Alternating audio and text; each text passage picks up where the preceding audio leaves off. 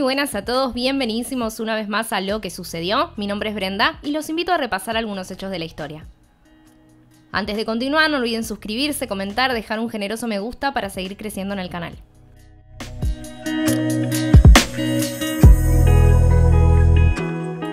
En el año 1893 se patenta oficialmente la fórmula de la Coca-Cola. En el año 1927 en la ciudad de Nueva York se presenta el cine sonoro. En el año 1976 el avión supersónico Concorde comienza sus vuelos comerciales de línea regular. En el año 1994 en Puerto Madryn, Argentina, ocurre la tragedia de los bomberitos, donde pierden la vida 25 bomberos voluntarios.